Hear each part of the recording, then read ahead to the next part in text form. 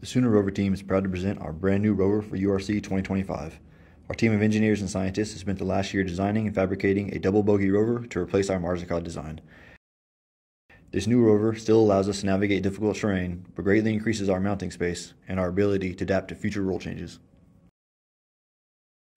At Mission Control, the rover is operated using a single remote control using a button that cycles between several control modes. A 2.4 GHz antenna is used for communication between the rover and mission control for distances exceeding a kilometer. Our custom video streaming program is highly flexible, running a web server on the rover's embedded NVIDIA Jetson Orin Nano computer. Multiple camera streams may be viewed concurrently, and different video feeds from around the rover can be selected through the web interface. The wheel electronics inside the electronics box have been updated and are now composed of two motor controllers, one for each side of the rover, which are controlled with separate PWM signal wires. In the fine manipulation mission, the ARM utilizes precision motor control for object interaction. Inverse kinematics and PID algorithms ensure that the ARM functions exactly as the operator commands and with ease. The ARM also utilizes multiple microcontrollers to split computation and reduce input delay. Video from the cameras is sent back to Mission Control and displayed on a custom UI to make controlling the arm easy and intuitive for the operator. The manipulation subsystem consists of an arm made from three aluminum members the bicep, forearm, and wrist. This ensures that we are able to achieve high levels of stability and precision without sacrificing any power to rotate the arm and payload.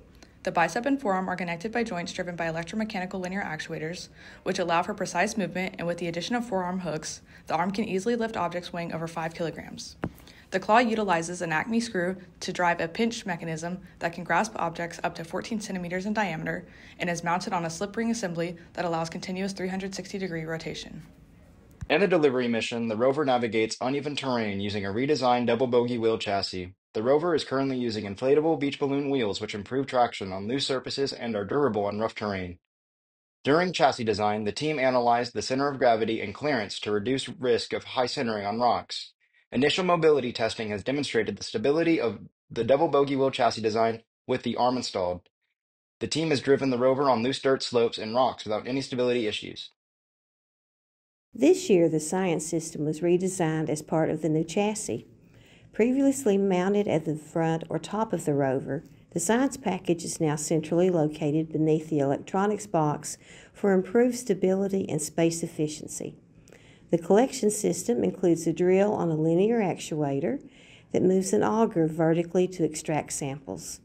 The auger is housed within a sealed tube with a window that evacuates all soil above the collection depth.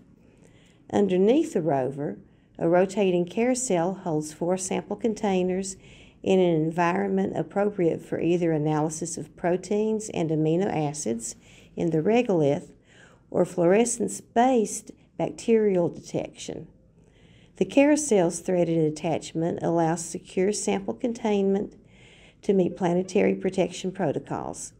The science cameras provide close range and panoramic Im- images for visual analysis of geologic features as well as interpretation of chemical analyses. Testing has validated auger performance, sample containment, chemical analysis, and fluorescence detection across varied soil types.